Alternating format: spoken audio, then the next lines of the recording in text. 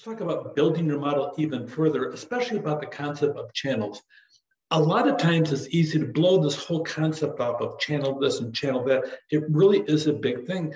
We were massively impacted during COVID, not as much by COVID as by our supply chain was disrupted and people, a truck driver got sick from COVID. Boom, all of a sudden the trucker's not there, and then another trucker and another trucker, and all of a sudden the entire supply chain disintegrated across the United States because our channel had been just in time inventory, let alone the devastation of people sick, the devastation of people dying from it.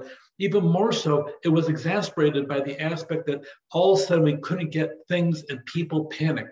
The toilet paper scare of 2020 will live on forever and ever in the whole world as people sat down and they stood in lines trying to get toilet paper. The manufacturers had tons of it, literally warehouses full. They couldn't get it to the stores. So you go into any store, you would see 24 feet of empty shelf space of different products that they didn't have because the supply chain, that channel of getting product from the manufacturer to the customer was broken. Now people are abandoning just-in-time inventory. Toyota, the one that actually invented it back in the 70s, now they have a four month supply in their own warehouse of parts, spending a lot of money inventory because the channels are broken and they don't trust them anymore. So, that being said, you need to have an awareness and evaluation. Purchase appropriately so you don't run out of certain supplies that are critical to your success as a deliverer of services or product to a customer, delivery, and then after sales. Follow the pathway, all five points here as to what you're going to do. Then think about the channels that you deal with, how you sell and how you present your services and your products to customer. You're going to have a sales force rely totally on web sales. You're going to have your own stores in the process, like Sherwin Williams. They only sell their product through Sherwin Williams stores. You're going to have partner stores that work with you, so you can sell your paint or whatever it may be into multiple stores. You're going to go through a wholesaler who distributes it.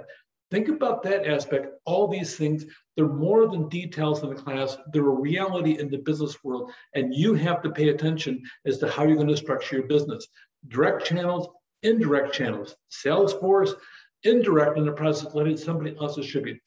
The, the different phases that you go through in channel is an awareness. You evaluate it as you go through. The customers are looking at it. What are you doing to that all consuming value proposition and then the purchasers, how do we allow customers to purchase our product? And then how are we going to deliver our product to them? And then are we going to ignore them after sales? Are we going to sit there and coddle them and make certain they come back again and again and again in the process? So getting to the channels, highly focused marketing, hammering away on the same demographics, making certain those demographics are exactly what's out there. You may have a product you thought you'd market to the 50 plus crowd, and all of a sudden it's being picked up by the 20 plus crowd, and you didn't even realize it. So all of a sudden, focus on them.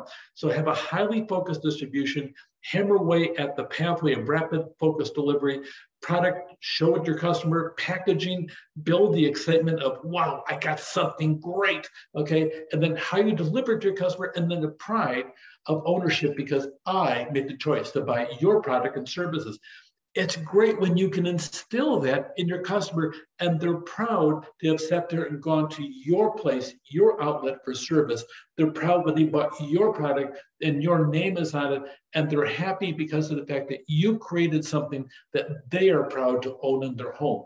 Awesome, incredible. Think about that aspect marketing channels, distribution channels, how you're going to get it to the customer, and then how about after the process as well.